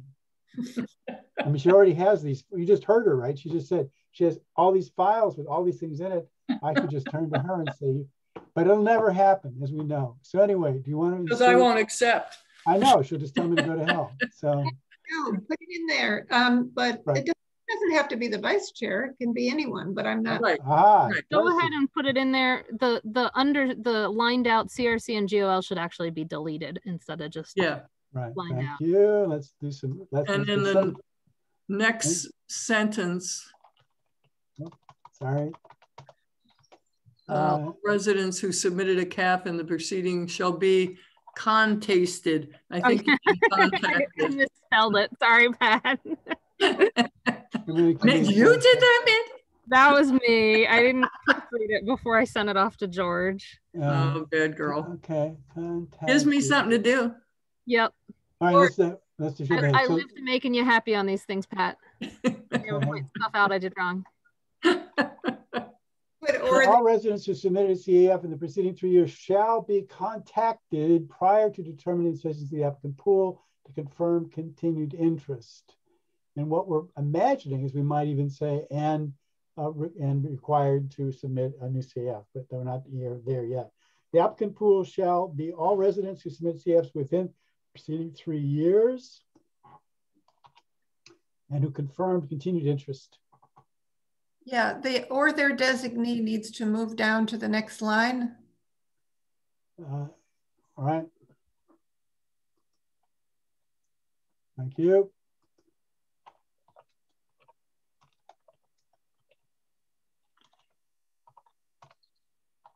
Oh. Right. No, nothing. Sorry. Okay. The applicant pool shall be all residents. You should delete the or their designee above. Mm-hmm. Here? That one, yeah. yeah. That's a mistake. Thank you. I'm getting punchy. Shall be assess sufficiency, the recommending committee chair or the designee shall collect also. Okay, fine. So um, now do we discuss whether we want new caps every time? Well, we could certainly put that language in here and, and then come back to it. Um, what are people's thoughts on that? It's an interesting thought. We're not going to settle this obviously today, but it would it would sort of make a marker for us to think some more about it and the, and the sort of changes that would be required. Yeah, um, I wonder, George, could we maybe have signed one person or two people or three people to kind of, I know we're all so busy right now, but just to like give a cursory idea of how things would change if we decide we want to do this. That would be helpful. Just hmm. brainstorming like how the process works, how the forms work, and how we, because we would have to overhaul it. So if we want to do that, maybe just informal, I mean, it can't be more than three of us, but we could have coffee or pastry or I don't know what, and just try to look at how it would formally have to be done. Wouldn't I would be just willing to in do it. Would it be in consultation with Athena? Wouldn't it just be having a conversation with Athena? Yeah. And, We- and, and uh, could be the chair plus, uh, or whatever. I mean, if people. Why not the chair and Sarah? Reach out to You just Athena. offered to do it. Right. Okay. Or I, I would acquiesce to somebody else if they have more knowledge. But I, I just think if we're interested in doing this, I think we should, I, I think it would make it, it wouldn't, it would be a, a fairly sizable overhaul. So it'd be worth just meeting with Athena and trying to just brainstorm how it structurally would have to change. It might not even be w- wicked complicated. It might just be going through step by step and I, I think I would be interested in knowing if, if we're pursuing this method, uh, not even necessarily what has to change on the CAF or anything, because we could figure that out, but what, what we would want out of it. Would it still be that, you know, like in here, someone who submitted a CAF within three years still needs contacted to say, do that, because that doesn't change any work for That's correct. Right. Uh, you know and so what if we went ahead and said you know no we're only going to take CAFs from x date and maybe it's not three years maybe it's the start of the fiscal year or the start of the you know the council term or yeah what what would the proposal be and what would the changes in the policy that we have right now have to look like maybe um, but but what what is a formal proposal of is it just from the date that the bulletin board notice is written is there any contacting of priors um you know prior applicants and all of that and how would like people who check off multiple boxes, could you Yeah. still do that? Right? you- Or right, can we no right. longer do Right. that? yeah maybe we need forms for each committee Well, I, I'm not sure. Well, again, I, I've had this situation in this most recent round where someone listed every single committee. And so I felt I just reached out to them. I mean, they listed planning board, zoning board, and, and FinCom. yeah i And guess so I, I, yeah. I think what sarah's saying is Yeah. you know planning board caf actually i think zba's is the one that went out earlier you know was adver- the the bulletin board notice went out april 2nd maybe Right? um fincom just went out may 19th would we consider those that submitted a zba caf on april 3rd but also checked fincom as close enough to the fincom date i think that's where she's getting at It what do you be do with really things like specific because yeah, like Mandy Jo's saying, you know, you couldn't. If you're saying that they have to put one in for every single round, I don't know how you would expect someone who checked off three different committees and then they're all, you know, maybe two to four weeks apart. Unless the town actually sends them something saying, Bing, we now have a vacancy, you need to do another CAF. I don't think we can expect people to be that on top. I couldn't Yeah. be that on top of it. and and it's more concerning with ZBA and and planning board because those pl- vacancy notices went out a week apart. Um, you know, and so what do you do with the ones in the week? Um, since the process is happening near simultaneously. Hmm. So I So think you'd have those to be thought yeah. through and coming back with a proposal on that. And I think that's not something that- that we can, we should be wasting Athena's time on. That's something for us to figure out. And so, um, I don't know if we want to, I'm not sure that I have any brilliant ideas on this. Um, but I just think it bears thought because it may not be that confusing, but it Yeah. is enough to where where you know we might even talk to Athena a little bit because they do. I don't know. I, I just think we have to be really clear about dates and and that the you know the multiple committee thing might not work anymore. That's all. I, okay, I hear I- what you're saying. you know, my Yeah. first initial thought is most of our appointments happen unless there's an odd out vacancy April to for June 30, right? Right. Um, so maybe instead of three years, maybe we go back to January 1 of the current year. Something like that. But so that- maybe- Could Delete my files, I'd like that. you know and and that would also ensure from darcy's concern that the councilors always have every CAF because pretty much you're getting sworn in january 2nd 3rd or 4th something like that. Um and so it wouldn't ever necessarily go back to a different council's term what, I like about going back two or three years is that um, it reaches out to people who at one point had expressed an interest and then for whatever, you know, they were turned down or whatever. And, um, you know, this would put an end to that basically, except for, you know, so uh, isn't there a value in terms of just outreach in, in our going back two or three years just to say, even though it doesn't produce very many candidates, at least, you know, it says to them, we're thinking of you. And if you're still interested, just fill out well, a CAF for this body. I guess the, oh, sorry.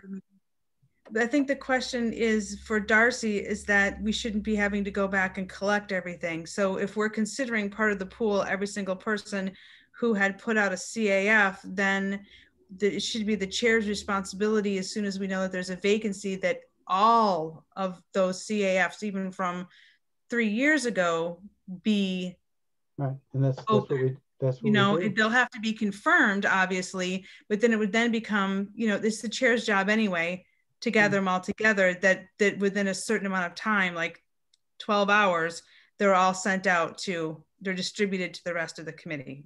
That's what i'm think that's what i'm just thinking. But they'd be they'd only be distributed if they responded. In other words they got so somebody two or three years ago gets my email saying you know there's a vacancy. And and if you want to be considered send us a caf well i'd be interested if darcy thinks that okay or if she i think i and i'm not I, so darcy for you does it does the whole pool mean every single person that's applied in the cafs for every single person who's applied in the last three years whether or not they respond? Like we you want an initial pool of every single person because that's what the pool really is. Um, before george starts knocking off people because he said they didn't reply yeah i would i would you know like here it says you know cafs will automatically be sent to all councilors you know on initial application so so um that is the optimum. It's just that we don't get, you know, we don't get the, the CAFs if they aren't a new application. But I, yes, so I don't totally understand your question, Sarah. Um, the question is, is what do, so the problem is, is that we do get all of them, right? We do get pretty much everybody within our term but we have to keep them in folders. What I'm asking you is, is it more clear for you if when this comes up that George actually, or whoever it is, actually collects everybody from the past three years and initially puts them out to everyone so that, that you can see everyone all together even before he stop he starts saying calling people and they you know somebody might say uh, george smith might not reply. But i think what you're saying is is you want to know that George Smith applied and Mary Flower, and you want everybody, even yeah. if they don't respond. You want it in one package, no? Uh, I that would be the optimum. I do remember that when we were, some of us were on OCA, we did get a spreadsheet um, that was everybody who had applied and uh, what what was the result of the contact with them um, and so so we had an idea but we didn't have their cafs um, so that's what well, I, I still do right. that with Pete planning board and zba and any appointments at crc there's a spreadsheet distributed that's not a public document before the meeting to determine sufficiency of the pool that indicates all of that Right. So I think that maybe that should be a uniform process so that that councilors get everything from the last three years together with the spreadsheet. And then I think that one of the things with OCA that came up is that it should actually be the chair, and it's what we're doing now, but maybe we should make it clear the chair is absolutely the one that that um, contacts people. But it's just more of a tight package, I guess. I think is what Darcy's saying. She wants a spreadsheet. She wants to see everybody and their CAF from the last three years, which is easy enough to do because the chair would have to see them. Right. right? Well, actually, so so so let me let me go a little farther. I actually, as chair, don't have um, all the CAFs right now. Um, even though I have a list of names, because I got that list of names from the prior chair of OCA who did the planning board and ZBA, and now I keep a running total and I knock off the three years older.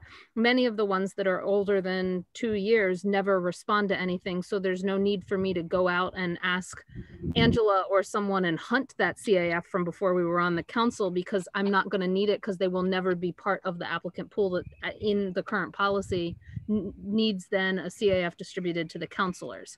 Um, and so that would actually be a lot more work for someone that is not the chair. Now, going forward, as we transition councils, I'm hoping to eventually be able to put them into like a SharePoint folder that could then be updated regularly and uploaded like that. But you can't guarantee every chair will do that. Um, Maybe you know, we should. You know what I'm saying? No, so- seriously, so- that would be easier. I, I don't know. So so I I like I said, I don't actually have all the CAFs to distribute. I have a spreadsheet that gets updated regularly at this point. I'm just thinking if we made that policy and then, you know, if somebody who's a chair needed the technical support, they could get it. I'm just thinking it would streamline the whole thing in general. I think it'd be a lot more work in the beginning, but I think if we learned how to do it, then as councils are turning over, if that's something you have to do, then obviously somebody would help you out and then we would start having the CAFs. So we might be able to add that into the community activity form section of this, but I also do want to do a time check. Yeah, I think we're gonna have um, to stop, yeah. Um, we're gonna have to 12, to the- 18 yeah, we've right really now. reached- We've reached the point where we have to stop. I, I, ju- I just want to say, I'm sitting here thinking, I don't know whether I care. And so I'm trying to understand wh- who, a three year span of people who are going to all be contacted and I'm going to get every one of those CAFs and whether they're interested or not and and do what with them Exactly. I- you know. I, I don't I, I I think this is going too far Yeah, that's just where I am. no, I have to agree with Pat. You, you should get the CAFs to people who are actually interested. I'd, I'd much prefer everybody having to re, every time right, you exactly. apply. Yeah. And also maybe only being able to apply for one. So if you want to do ZBA finance and something else, you do two of them or three of them. I don't know. But um, I, I, I don't see somebody, I, none of you have yet explained to me what's important about knowing who applied three years ago. I, I, I just, cause they, I don't know. Sarah? So just so one of the times that OCA first started doing this, we found out that when it was someone else besides the committee um, who contacted people, and it was such a big job, this could even happen to a chair, that someone who had actually filled out a form was not contacted and only caught the fact that they weren't contacted and they weren't considered until we were actually choosing people. So How I, old was that CAF? uh, it was new.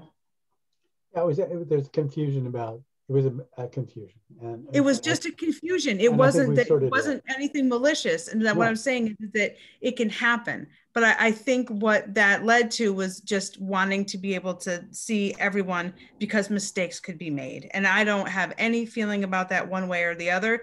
That's just the only example that comes to mind for me is that someone actually, because there was a gazillion people, it was the first time we did it, it was an honest accident. So, but that's, I think that's one of the reasons. All right. Um, we're going to have to come back to Twelve this. twenty. Yeah, we're gonna have to come back to this. I'm going to have to, um, I'm gonna put this away. I'm gonna put up, we have two documents. Let's see if we can get through them. First is a citation. I'm gonna put that up first. Um, this sponsor here is, is Lynn Griesemer. Um, I've gone through it once. Um, so I think I've taken fairly, let me just make it bigger.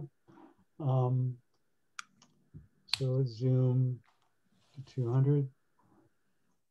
Go. So citation recognition of Mira City charity upon receipt of the Gold Award Girl, uh, Gold Award Girl Scout, which apparently is the term. Councilor sponsors Lynn Griesemer. The community sponsors the Girl Scouts of Central and Western Mass. Um, I've gone through this line by line. Um, uh, in the interest of time, anyone have any concerns? Anyone look at this um, other than yours truly and see anything that needs to be changed? I think it's fairly, it's well written, it's clear.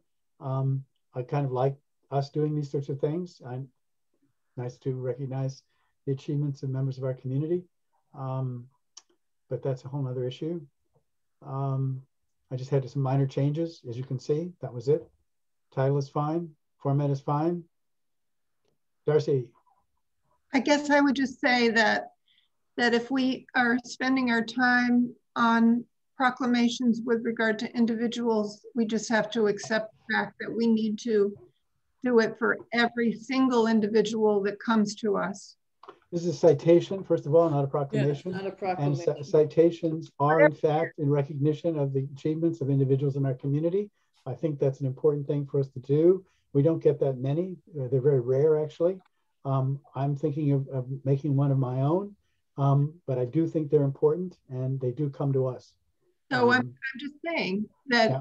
we, if we do one, we have to do all that come to us.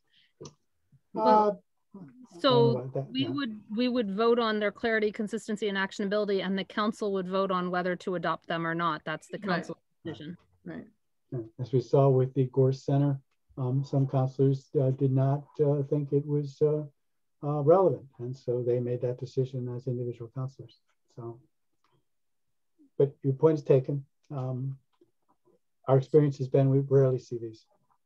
I'll make a motion to declare the citation and recognition recognition of Mira SETI charity upon receipt of the Gold Award Girl Scout, clear, consistent, and actionable as amended. Second, DeAngelis. Okay. Oh, go ahead, George. I don't care. That's all right. Uh, so it's been made and seconded. I see uh, Darcy, please. Oh no. I'm... Okay, I'm sorry. Your hand, your hand is up. That's okay. All right. So I'm going to go to a vote and uh, start with Darcy. Yes. Pat. Aye. Sarah. Aye. Mandy? Aye. The chair is an aye. The vote is unanimous uh, to declare the citation to be clear, consistent, actionable. Um, I will send it on uh, to Athena and to Lynn, and I assume Lynn will say something briefly at the. Uh, Better be brief. I, I, guess I just have a. I understand. I mean, our meetings are crazy, but I think it's really important that we do this. It's kind of one of the few moments when, you know, no, I agree. I agree. I'm just being snotty. I know. I know. I know. so again, moving quickly. Um, so bye-bye citation. This is the, uh, excuse me, I'll find it quickly. This is the LGBTQ proclamation. And uh, I'm going to share the screen. Okay. Why does this take so slow? Okay. View. Um, so 200. So I inserted, you can see I did read this. It's obviously we've done this before. Um, there are two changes made. First is the council spon councilor sponsors are Pat DeAngelis and Evan Ross. Does Pat get a space between her D and Angelis? That's a question. I should, well, it's I prefer the space, yes, okay. but it's been Should Americanized. We want to vote on that? Or? Okay, all right. So we'll put a space in. So Pat D Angelis, and Evan Ross. A very important change made in now therefore. Now therefore we, the town, by the way, we keep referring to ourselves differently, but I, am not going to worry about that today. uh, and we sometimes we're the town council of the town of Amherst, sometimes we're the town council. All right. Do hereby proclaim June 2021 as LGBTQ Pride Month. Encourage all residents to celebrate our proud and diverse LGBTQ community and recognize this proclamation by raising the pride flag on the UN flagpole. So, so what, what I'm the one that suggested this change. I think your strike through would actually need to be a delete, George, oh, on hoisting. I, I just wanted people to see I the word hoist, say, which I'm very fond of. We send hoist to the council. Councillor Brewer yells at us for still using the word hoist and wants us to use raise. And so I'm wondering if now's the time to change it to raise. And then she also has indicated sometimes it's nice to know which flagpole we want the flag on. Okay. I, I uh, go, I want to go back in that now, therefore, because I actually think it should say the Amherst Town Council, not the Town Council of the Town of Amherst. Thank you. But, Thank you. I like that. And since I'm a sponsor, do it. I will do it. Absolutely. So we, the Amherst Town Council of the town of Amherst. No. All right, we, the Amherst Town Council. And that, oh, again, punctuation. Delete, delete the comma after town. Oh, right. no, wait. Yeah, I think. Therefore, Therefore, we, the Amherst typically, we- we- Council, do hereby. I don't think we need those two commas. No, we don't. We don't. We don't. Okay. Who says we don't get things done here? So we, the Amherst Town Council, do hereby proclaim. Excellent. And I someday someone will explain what is the problem with the word hoist. Um, but anyway, that's. It sounds like you're grabbing your crotch, George, and fixing your penis. I don't know. Wait, All right, please, please, Pat. Okay. Uh, any other thoughts? Emily, Um, don't put that in the minutes. So Mhm. George, can you just actually highlight hoisting and delete it because the strike Ah, through accept all Thank changes. you. Thank Leave it there. you. Thank you. So by this probably by raising the pride flag on the UN flagpole from flag. Okay, good. Um, Oh, I'm- Go back down. Yep. We never spell out 24th. We just write it in numbers on the voted this. Mm-hmm. voted this 24th day, Yeah. December. Pat's getting too like hoity toity there with spelling it out. All right, voted this 24th day of May 2021. Um, do we need to come after May? No. I don't Sorry. think Thank you. I, I'm losing it. Any other changes, concerns? Uh, Uh, is Lynn's name spelled correctly? Yeah, uh, recently, yeah, yes, it is. sorry. Yep. Okay. D R I E S. he Yeah. needs to add it to his dictionary. Yeah. I have a dictionary. I know. I know. I'm so out of it, technologically speaking. Uh, it's amazing I can do so it. I'll make the motion to declare the LGBT well LGBTQ Pride Month proclamation clear, consistent, and actionable as amended. Thank you. Second, DeAngelis. Thank you, Pat. Um, so I'll go immediately to a vote. Start with Sarah. Aye, aye, aye. All right. Uh, Darcy. Yes. Okay. Mandy. Aye, but I think Sarah voted too many times. Uh, sorry. we'll let the minute taker figure that out. Um, Pat. Aye, only if there's a new dance video. Okay. Oh, Well, we'll get Evan to work on that. And the chair is a yes. So the vote is 5 0 unanimous.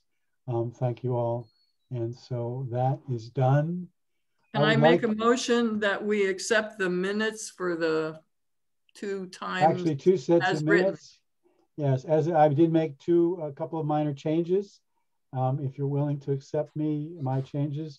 Uh, so um, what are the dates? Anyone help? April quick? 21 and May 5. Thank you. The minutes of April 21 and May 5 as amended by the chair. Um, the motion has been made, Second. seconded by, okay, by Mandy. Um, again, I'm going to immediately to vote. Darcy, Yes. uh, Mandy, Aye. Sarah, Aye. Pat, Aye. the chair is a yes. So that is 5 0. The minutes are approved. Maybe we Um, should do all proclamations and resolutions to the end of meetings. We might do them quicker. Yeah, I was just going to say the same thing. I like to start out with something I think I can manage. I hear you. I hear you. Maybe No, that it's will be. good to have them at the end. We're very motivated to get them done. Okay, well, I don't know. Anyway, I um next meeting, uh, we did get um two referrals from the council. One has to do with a resolution supporting a bill before the House and Senate. And the other is a committee um charge and that we'll need to review. And I we have until June 21 but my intention is to act on that. Actually, I could use some advice here, but my intention at the moment is to act on that in two weeks' time. So those two would come to us. That would mean inviting, um, and again, I could use some advice. Who should be invited um, to participate in this? Um, so we have this is um, uh, somebody help me here. It's been too It's long. the African Heritage Reparations Advisory Com- or Commission, I think. Um, right. I, I would start with Michelle Miller. Um, she's the one that came to me. Her and Matthew are the ones that came to me about that charge that I helped get it in the form it currently is. Um, So maybe approaching Michelle and asking her to be present.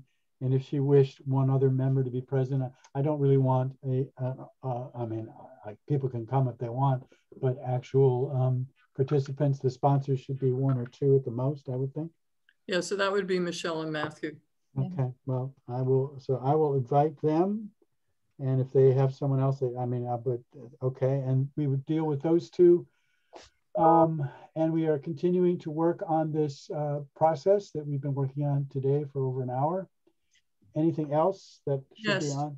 Yes, Yeah, go ahead. I would like, I am meeting this Friday with three sixth graders who are writing uh, a resolution uh, about um, some uh, Senate and, you know, uh, legislation on climate Okay, issues and animal uh, management. They wrote a letter to the bulletin, which was accepted, and we're going to expand it to a resolution. And I would, I meet with them Friday. I'm hoping to be able to bring it to our next meeting. okay. So there may be um, three uh, items related to our charge, plus uh, this document that we're working on. Um, we will be hopefully um, uh, declaring, we'll have to do deal some business with FinCom and with DAB. So again, we've got, we'll have a very full agenda. We will need to, uh, uh, I'll have to sit down and think, uh, but we will have to get both FinCom and DAB moved along as well. Um, so we've agreed to postpone the DAB process for two weeks. I will notify everyone who has submitted an application that they're going to hear from me now two weeks from today, not today, in terms of the actual process. Um, and FinCom, we will be able to declare on June 2nd. We should be able to declare the pool sufficient and then uh, get kicked into gear. Um, but that's just a formality that should not take as long. So we should have good time available to uh, to continue with this process that we're working on. But we will have three. It looks like we'll have three um, documents to deal with. Now we could um, put off these uh, two, uh, Michelle and Matthew, to uh, the the meeting after that. But I'm we have until June 21. Um, so um, I don't know if anyone has any thought on that. So we meet. Um, we meet 16th as well. Can we adjourn? Because I have to go. Okay, nobody has any. So right now we're going to invite them to the June 2nd meeting. Okay. Thank you all very much Thank you. for you your hard work and patience. And thank you, as always, to Emily. And uh, see you all, some of you tonight. Yep.